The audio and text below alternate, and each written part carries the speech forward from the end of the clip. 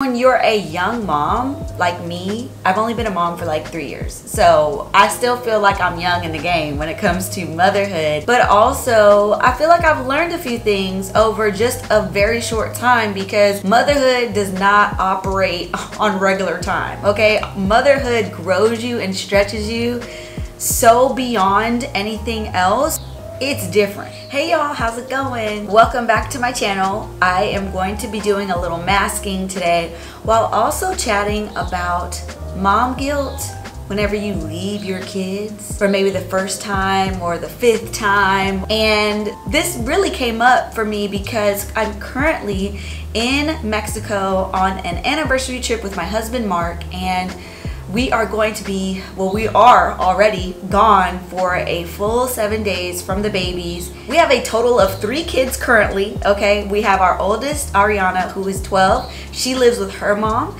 in New York, and so she's not with us full time. But we have our two youngest, who are Sarai, who's about to be three next month, and Micah, who's about to be one next month.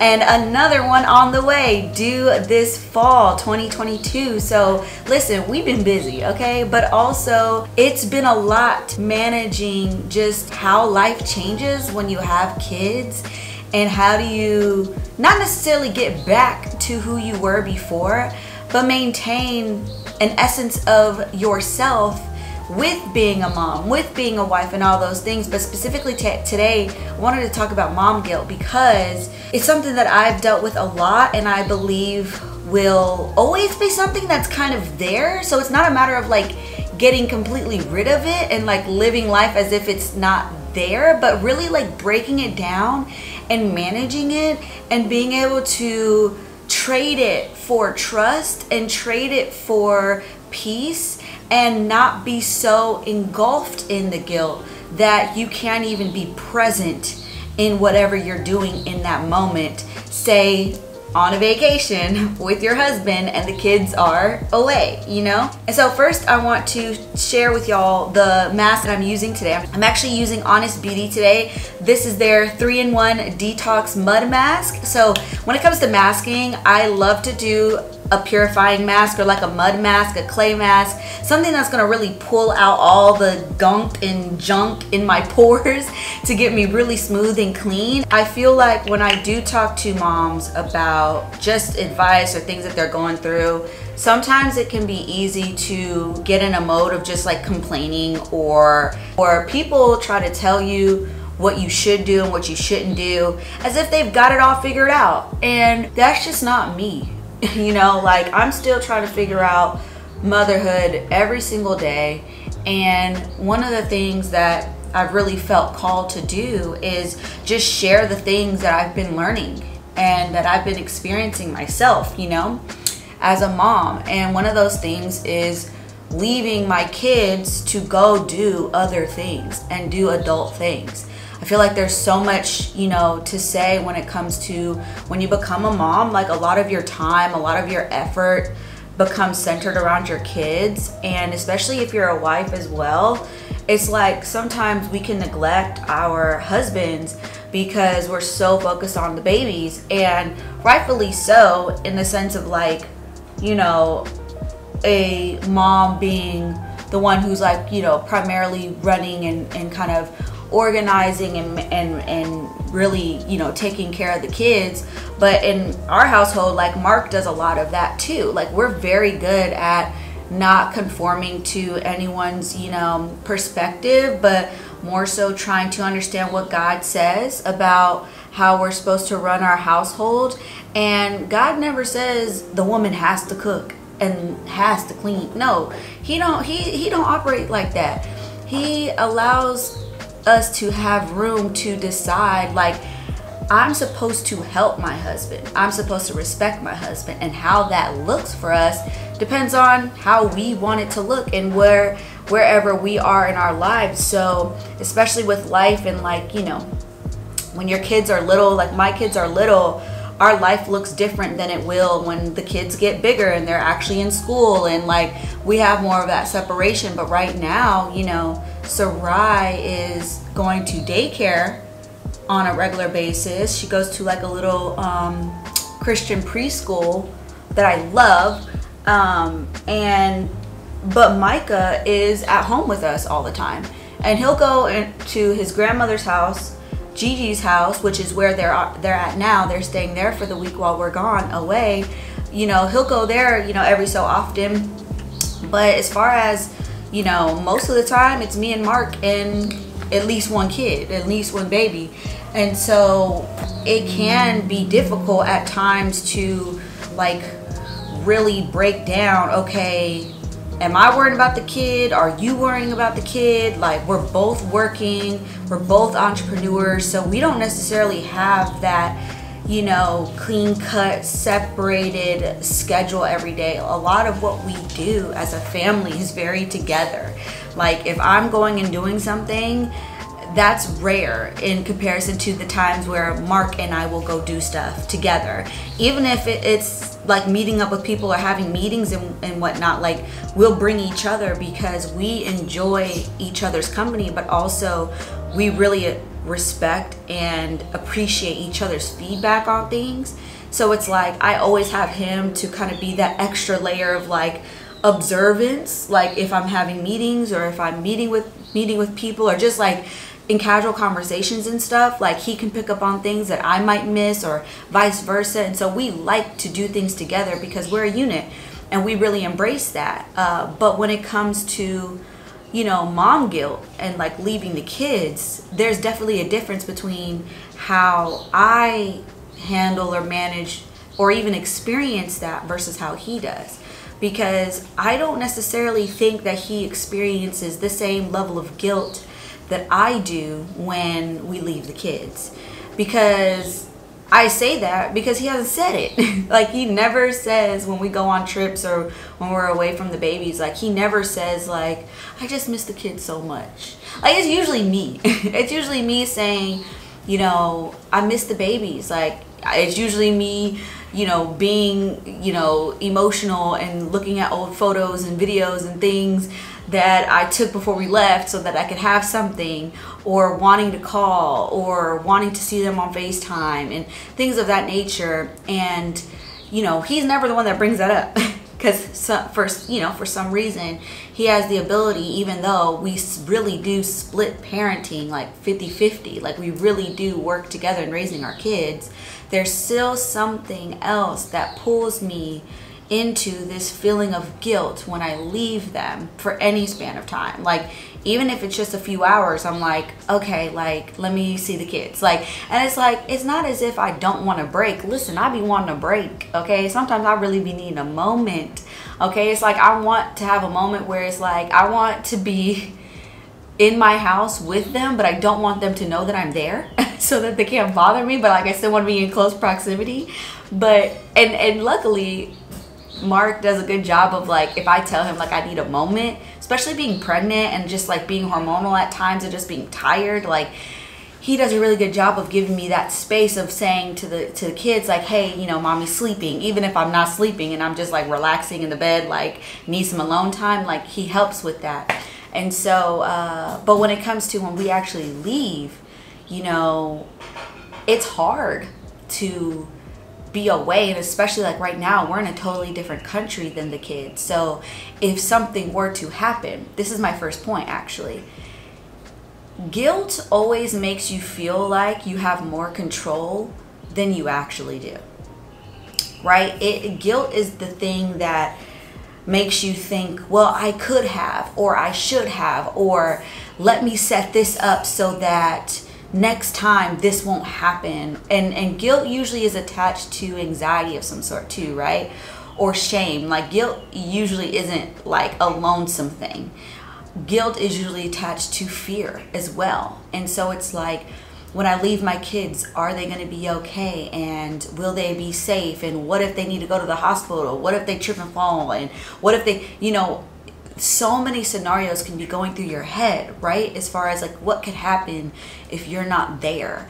And one thing that has helped me so much is this understanding that God loves my kids just as much as He loves me. So if he's going to make sure that I'm safe and I'm well taken care of every single day of my life, He's doing the exact same thing for my babies, whether I'm there or not. So, recognizing that you do have provision for your children when you're away, you do. You really do. God is always going to watch over them. God is always going to make sure that they're okay. Now, granted, things do happen, things can happen. And that's the part where you have to do what you can beforehand, prep. But understand that guilt will have you thinking that you could have changed something that happened when it's like actually you have no control over it anyway. Like things happen in the dark all the time when parents are around, when parents are in the other room, when you know what I mean? Like let's be honest about these things. Like a lot of our own childhood traumas happened when our parents were just in another room or outside and we were in the basement or we were in the other room. You know what I mean? So it's like that guilt of of not being able to cover your children, not being able to protect your children. Recognize that you're not protecting your children by yourself you have a companion. You have a father who's watching over them. And even if something happens to them, God is going to make a way for them to be okay. Because especially if you are in a position where there's literally nothing you can do, like I listen, if something happened to my kids right now in this moment, it would take me hours, hours, maybe even a day, and resources, money to get back to them in an urgent way to even assess the situation going on. And if it was a dire need, if it was a serious situation, I would have to trust that I've left my children in capable hands. And for me, I, I thank God every day that I am supported and and I have a, a family that has the ability to help us and to be available when we need to go somewhere or we you know need a break okay? Um, you know i have a support system that can be available. And that's the other piece of it is like you know to manage some of that guilt is to do the work before you go. I'm not just talking about a week before you go on a trip or plan something but how are you developing relationships with other adults that is going to create a sense of trust and a sense of companionship that you feel comfortable leaving your children with them. Whether it be you know a very very close friend who's also a mom or parents or you know what i mean? Like friends that are like family or actual family, parents, grandparents, you know what I mean, who can actually take care of your kids and you can trust them. Now, granted, it still requires you to relinquish some of that control and, and, and say, okay, I'm trusting that if I'm placing my children in the hands of their grandmother or their their aunt and uncle or their godparents or whoever it is, that they're going to be well taken care of and I, I'm going to be okay. Now, the other part of the guilt is don't act like it ain't there it's okay that it's there. I believe that it's natural. I believe that it's natural for us, especially as moms, who literally birthed these babies. They came from our bodies to feel a sense of anxiety when we are separated from the heart, our hearts walking out on the earth, right? Like they're part of us. Like my whole heart in a person is it are my kids. And so when they're walking away from me and the more distance that there is the more kind of like okay like where are my kids? Where are my babies you know? But that is real. And again trusting that God is going to take care of them and that there's also something you're supposed to get from the distance as well. There's there's a balance that has to be created. Because sometimes if we're too close to our kids and we're too attached then it doesn't allow them to grow and it doesn't allow us to grow. Because just because you become a mom or you become a parent it doesn't mean that you're no longer an individual. It doesn't mean that your job is done growing as a person and now you are only focusing on the kids because your time is no you are still growing as a person. You mom you're still growing as a person. So God provides these opportunities of getting away from the kids, having a, a, a day or having a few hours or a few days to detach so you can actually focus on you for a moment and you can actually be back with your one self and remember who you are and reconnect with who God is calling you to be because we're only stewarding over our children. We're only raising them for a certain amount of time.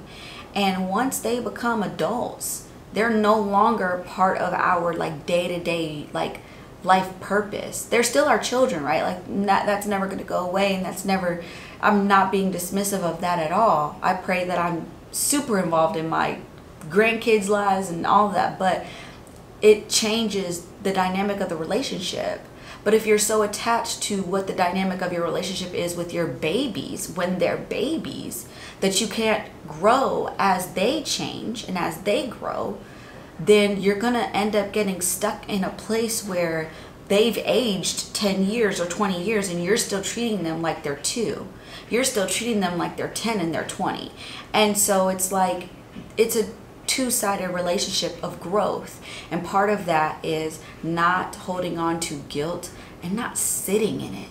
You know, like don't sit in feeling anxious or, or, or guilty for taking time for yourself because that time is not you being selfish.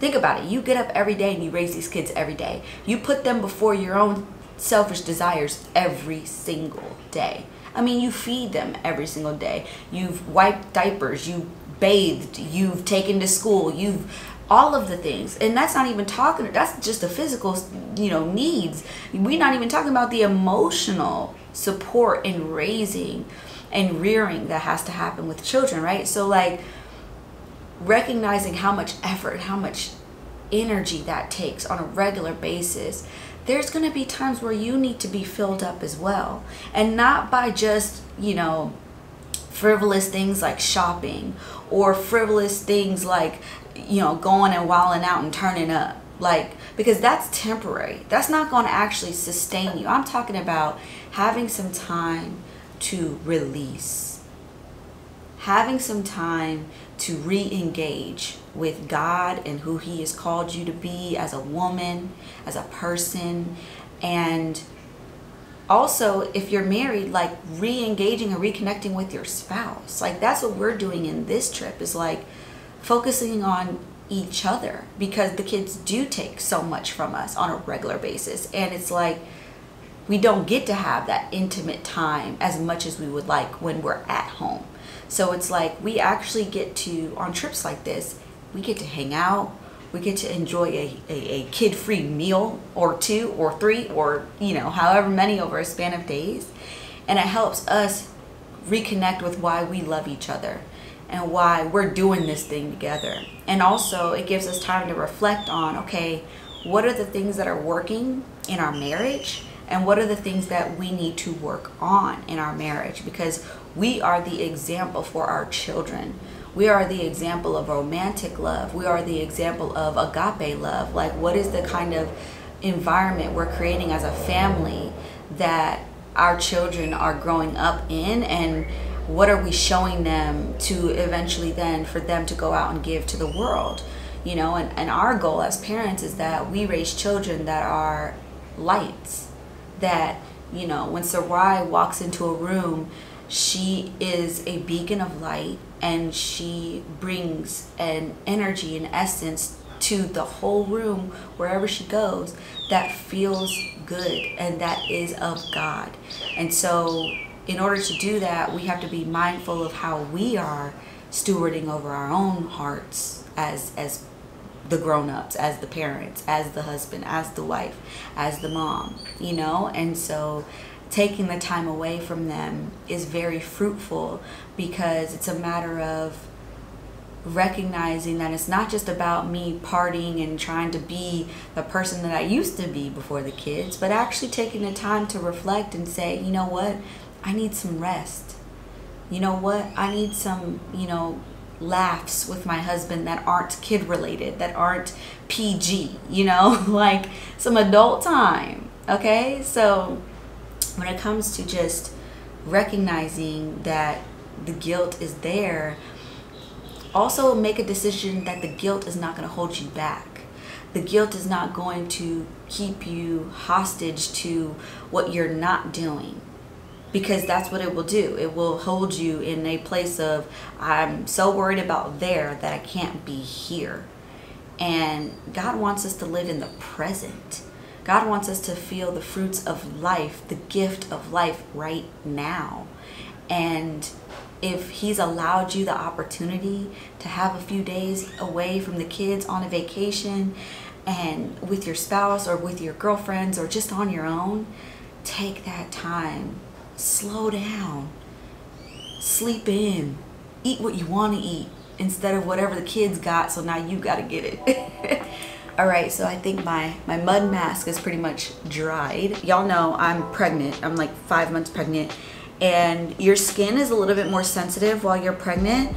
So I definitely feel this like being activated on my skin. Like it, it wasn't like uncomfortable or anything. And I actually really like this mask because it did what I wanted it to do. Like my face feels really smooth, but it was super creamy and not like it didn't get like um, really hard and cracked or anything to do what I wanted it to do. So that was nice. It was a very creamy and like soft and gentle kind of like user experience, but still feels like effective. Okay, so initially I was gonna do both of these masks, but I'm realizing that I really just needed this one.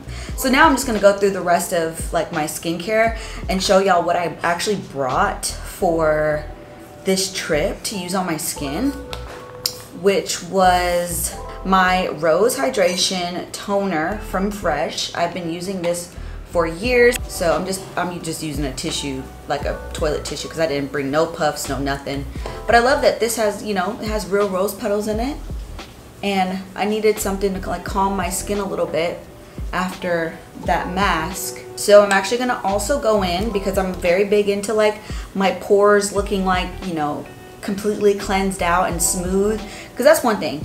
You can't really change the size of your pores, but you can definitely help with how much they appear you know and so if you want super super smooth skin you've got to be cleansing your pores and closing them regularly and so i'm also to be using this uh, herbivore bak bakuchiol it's a all it's a retinol alternative serum since right now like i said i am pregnant so i have to avoid retinols and like harsh like chemical exfoliants because my skin is more sensitive right now.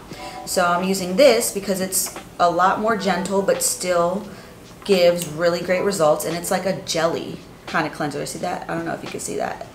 Yeah, I see it's like a, it's more of a jelly kind of serum, which is nice, especially when I'm in a hot place like Mexico in June, uh, to put on my skin and just feel very like refreshed. I'm gonna put it all down here too. Because why not? That's what you're supposed to do with skincare. Like you go all over. So you can, especially neck, that's where people be looking. You start aging and your neck be showing the wrinkles and whatnot. We want to, we don't want to avoid it completely, but you know, we want to just look as youthful and healthy as possible. And wrinkles happen with dehydration. So if you are really good at maintaining hydration, first by drinking water, but also by using products that are really hydrating and penetrate your skin barrier in a real way, which most quality high-end products do. And some like more low end um, not i won't say low end but more affordable skincare products. It just you know you gotta you gotta know how to shop okay? You gotta know how to shop for skincare I have my eye cream propping this up right now. My camera, my little raggedy tripod. Oh, it stayed. Okay, perfect. I also brought my Fenty uh, eye cream. This is Flash Nap. If you are over 30, do not skip eye cream, okay? And honestly, I have a lot of different eye creams. I don't necessarily have a preference on one over the other. I've just used a lot of good ones. And when it comes to eye creams, I just make sure that they're super hydrating and gentle at the same time. So this is one of those that's like very effective. And oh, and then last but not least, I'm obsessed with this Kopari uh, face shield. It's like a sunscreen for your face, but y'all, it gives glow, okay? Like a little bit of this goes a long way. And so I've been using this the entire trip as well. And I'm only gonna do literally that much. If you want super glowy, glassy looking skin with a moisturizer slash sunscreen, this is a great option. Like, do you see that? Do you see the glow already popping? and there is no white cast so don't worry about that and it's got hyaluronic acid so it's gonna be super moisturizing which is why I think we've got so much glow going on but yeah Alright y'all, so that's all I've got for you today. I hope you enjoyed this video. If you are feeling mom guilt or just worried about having mom guilt, if you want to go on a trip and you're just like, but I don't want to like miss my kids, I feel bad for leaving them, don't, okay? Don't feel bad for leaving your kids. They're going to be better for it. You're going to be better for it. And if you don't have a tribe that supports that, reconsider your tribe. Because I would not be able to do any of this if it wasn't for my family and friends who support getting away sometimes, who support understanding that growth still happens outside of your kids, okay? And that you need time with your husband alone. You need time to yourself alone. And so I have to shout out Gigi, Mark's mom, who's keeping our kids currently, and just all the grandmas and the grandpas and the friends, family, everybody out there who has ever taken and carry and cared for kids while their parents have gone off and done what they wanted to do and came like listen y'all are the real MVPs because you don't even understand until you are a parent what it means to have people tell you, I will keep your kids, go do what you want to do. Like, what? It's unmatched, okay? Unmatched. All right, y'all, until next time, I will see you in my next video. Bye.